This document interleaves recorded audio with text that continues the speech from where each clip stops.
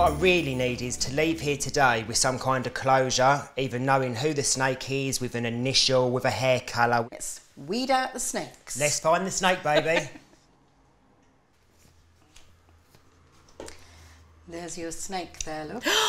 There's a kind of a jealousy here, a minor jealousy about your success, okay? Let's see what else comes up. The initial J, really strong here, and also G. So JG. Two initials that are very strong for you, okay? There's goodwill from this person, slightly negative from this so person. is good and J is not so good. Yeah. Slightly unsure of themselves at the moment, that's what I would say.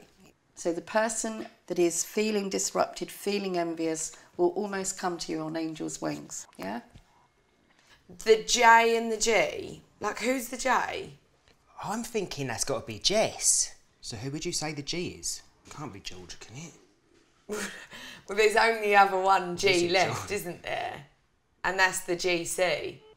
But would she dog me?